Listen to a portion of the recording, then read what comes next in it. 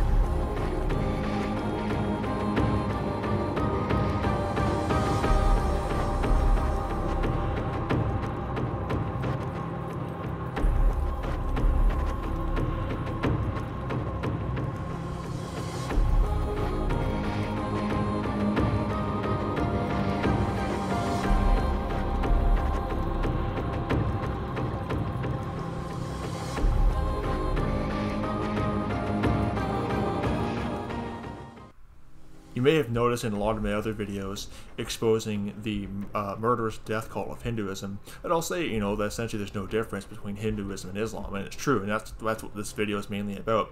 But the reason why I'm making this video is is due to the fact that you'll see in a lot of my videos exposing the death cult of Islam, is that I'm mentioning a lot of uh, articles by counter jihad websites because they do have a lot of good stuff uh, showing the true side of Islam that the politically correct media is too afraid to show apparently. Just the true side of the fact that islam is a uh, basically the ishmaelite uh, false religion. You know it's wild men. Genesis 16 verse 11 to 12 but the problem is is that that they have a um, the thing about the counter jihad movement is that they have a very strong uh, attitude of like en- the enemy of my enemy is my friend. So essentially, they're against Islam, but essentially like anything that's like against Islam, they're for. So you'll see a lot they're shilling for the Hindus. You know, they're shilling for the false religion of Hinduism because they're persecuting uh, the Muslims and also being targeted by the Muslims. So it's the kind of thing where it's like, if it's against Islam, then it must be good. You know, and it kind of, and, and a lot of times it actually comes down to the, to a willful ignorance of the fact that Hinduism is every bit as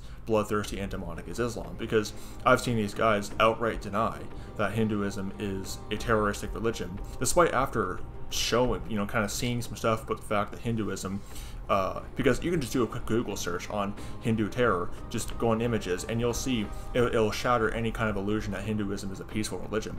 So a lot of times it just comes down to a willful ignorance. But you know, this kind of mentality that oh, it, it's not real; they're just a peaceful, you know, pluralistic people that are you know being targeted by the Muslims. No, they're both equally as demonic and violent. Hinduism and Islam are just two sides of the same Luciferian Jesuit coin, just two daughters of the same harlot over there in the Vatican, over in Rome know, all roads lead to Rome. Hence why the Pope is welcome in India and, and engages in Hindu rituals. But you know, this this kind of enemy, my enemy is my friend mentality, it does leave a, a willful blind spot because it, it, in the age of the internet, there really is no excuse for kind of this kind of ignorance because you can just Google Hindu terror and the first thing that comes up is a Wikipedia article about it. So, you know, it, it is very prevalent, but it's always been at the back of my mind.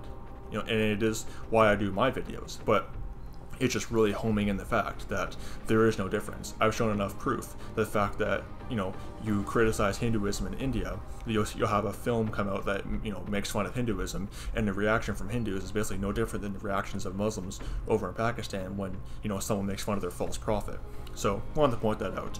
Uh, the enemy of my enemy is my friend mentality is certainly not a scriptural attitude to have when it comes to dealing with false religion. I'll just point that out as well. So just been at the back of my mind, wanted to get that out there. May the grace of our Lord Jesus Christ be with all the brethren. Goodbye.